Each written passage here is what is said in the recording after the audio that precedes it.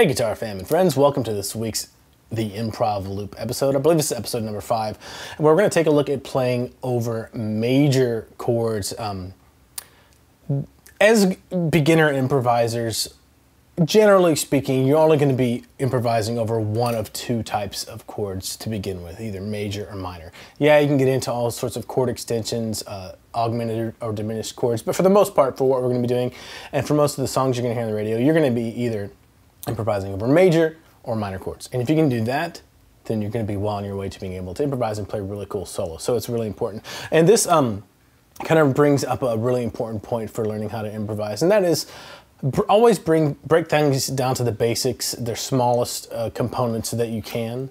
And uh, I find that to be true with whatever I'm working on on guitar. If I'm struggling with something, it usually comes back to breaking it down to the basics and the foundations and really just hammering that out until I can, you know, I know the basics forwards and backwards so well that I can apply it in different ways to the guitar. And that's exactly what we're going to do here. And I guess another way of saying that is all what we're going to be doing here in the improv loop is taking things that you already know as kind of a upper beginner slash intermediate guitar player and repurposing them or just thinking about them differently. So do your best to think about what we're going to learn in this lesson not as something entirely new, but just looking at something you already know in a different way. So the thing that you already know for this lesson that we're gonna try to pick apart and just look at it a little bit different way is your E major bar chord shape.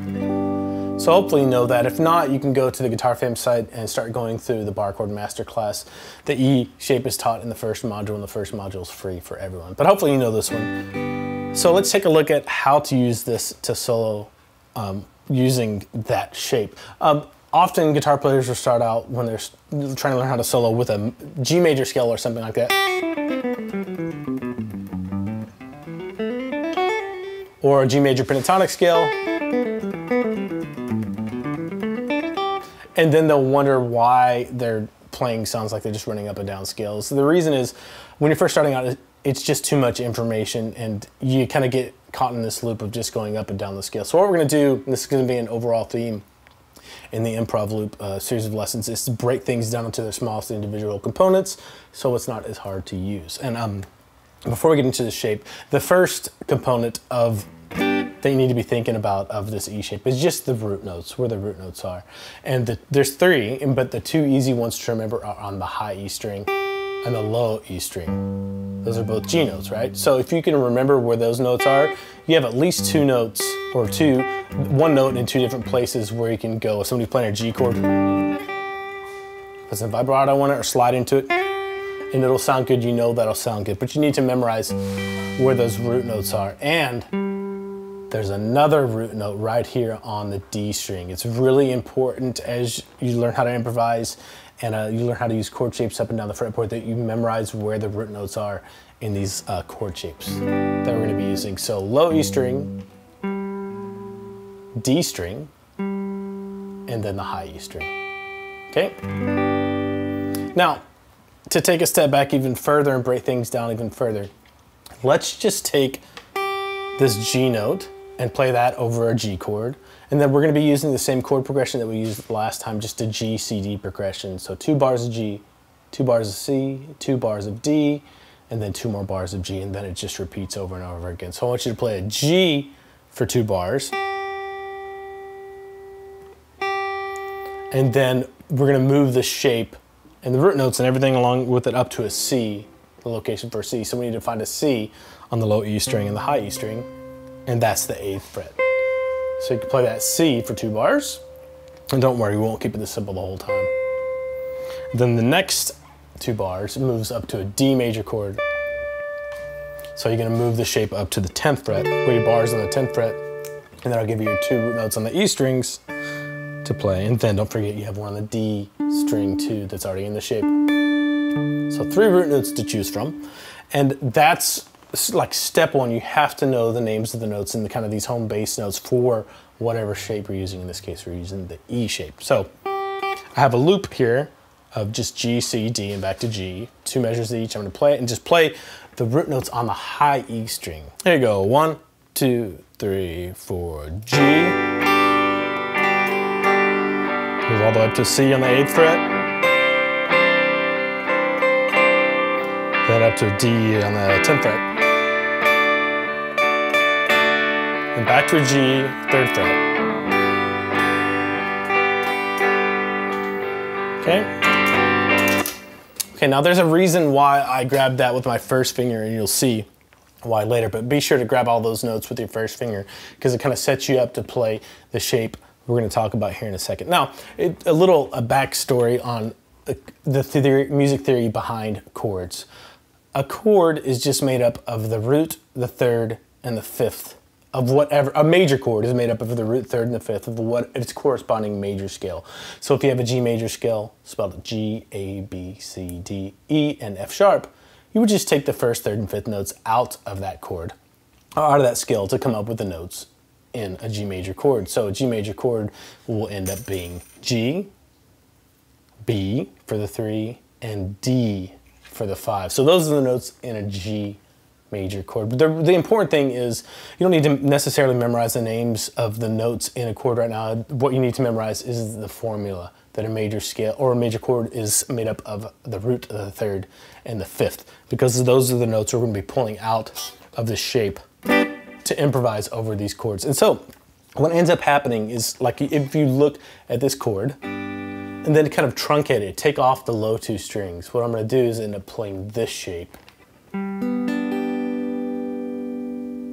and breaking it down to where now instead of playing just these two root notes on the D string, the fifth fret of the D string or the third fret of the high E string, what I'm to do is I'm to fill it in with the rest of the notes in that chord. And if you look at this, I'm just fingering this chord in a different way like this. What I'm doing is playing fifth fret of the D string with my third finger, fourth fret of the G string with my second finger, third fret of the B string with my first finger, and then my index finger is also laying over and kind of mini barring the third fret of the high E string. Okay, and we already know, or we should realize that this high E string is a root note, and the D string is a root note.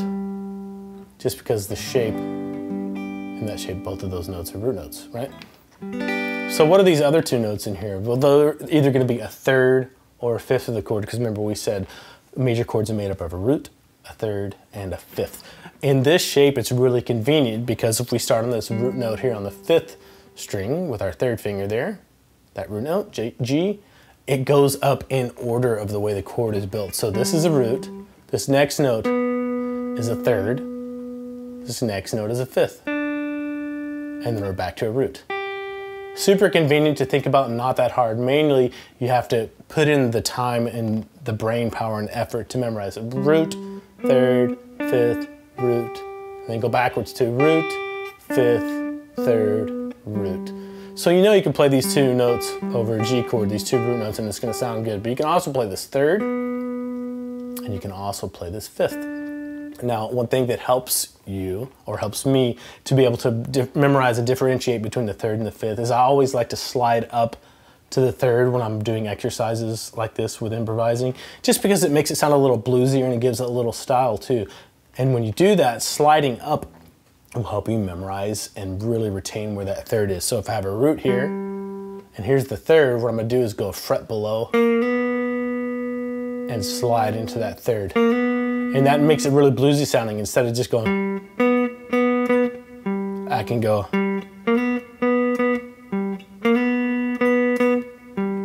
And when I do this, like the, the first step to getting this down is to be able to get this fingering down. You can not do that bar on top if you want, just these three notes. And then clap your finger over to get that other high E string. But those fingers are gonna be designated for those frets. So when I play, when I play root, it's my third finger. When I play the third, it's my second finger.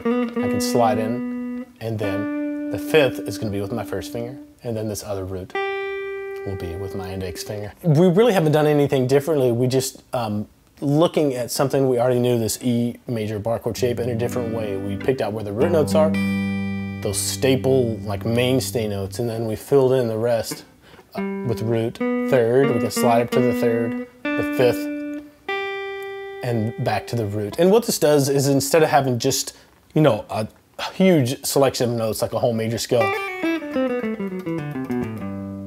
or instead of just having just a root note, now we have three notes to choose from that we can use to play over any major chord that you can think of. All we have to do is move the shape around to where the root notes match whatever chord we're playing over. So uh, what I would suggest doing is just start with one chord. You can even program just a G chord in your looper if you have it and just play G or one, three, five, one, five, three, one, and get that slide in there, one, slide into the three, five, one, five, three, one. And you'll notice I'm singing the numbers at the same time. That's a really important thing that will help break down the barrier between your brain and your guitar and it'll help you learn faster too.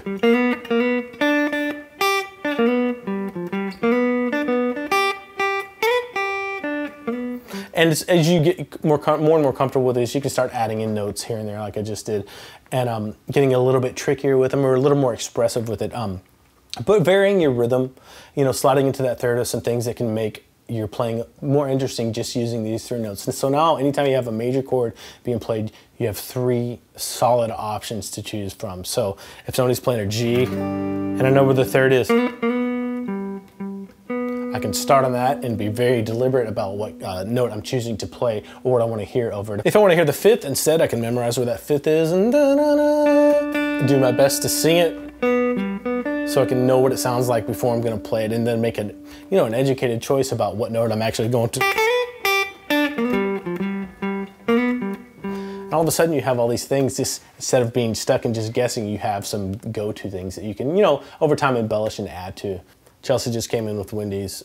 There's a burger sitting right over there, and I can't do anything about it right now.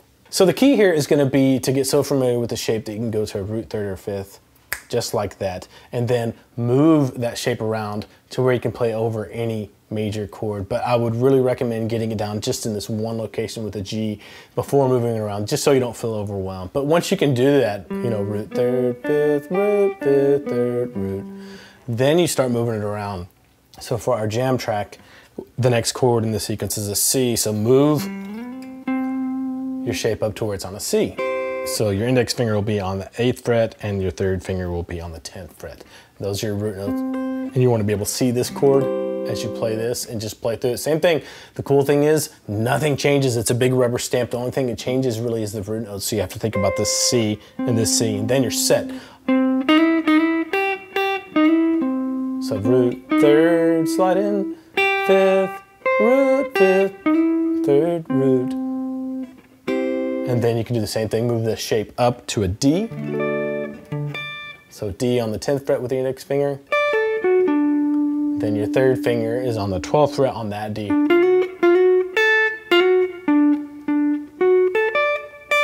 So now you have this one shape that can fit over any major chord. What if somebody is playing in the key of B flat and you're like, I don't, I don't know how to play over a B flat chord. Well, now you have at least three notes that you can play over a B flat. All you have to do is find a B flat on the high E string on the sixth fret and just try to get creative and expressive with the three notes that you have available to you, right?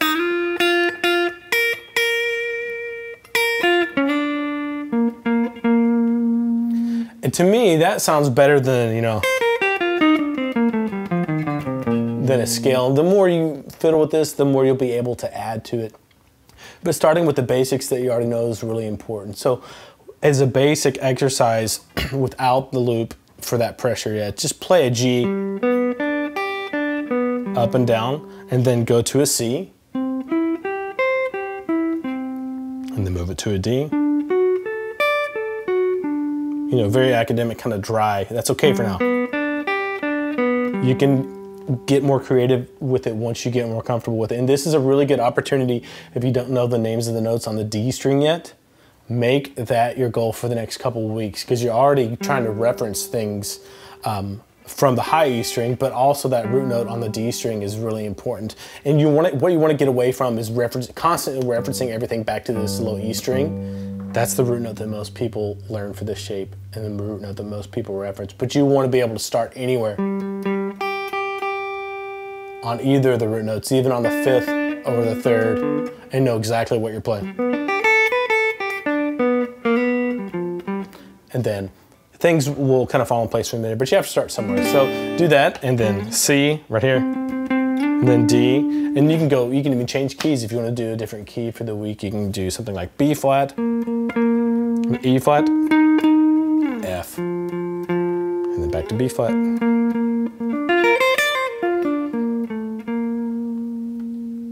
But this gives you three solid note choices for any major chord that you're going to come up against. And it's simple, but you have to start somewhere. Here's what it will sound like when you play over the jam track. Just keeping it ultra simple, so doing uh, some slides into the third and just staying with the notes in the triad, the major chord. Triad means three note chord. That's all we're doing. We're outlining the notes in the chords we're playing over. Here you go.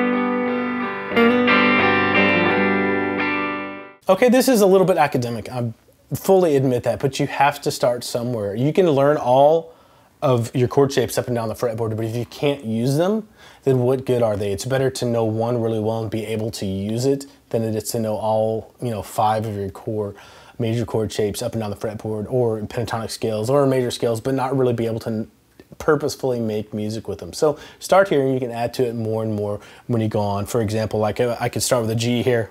Uh, in the shape that we were using.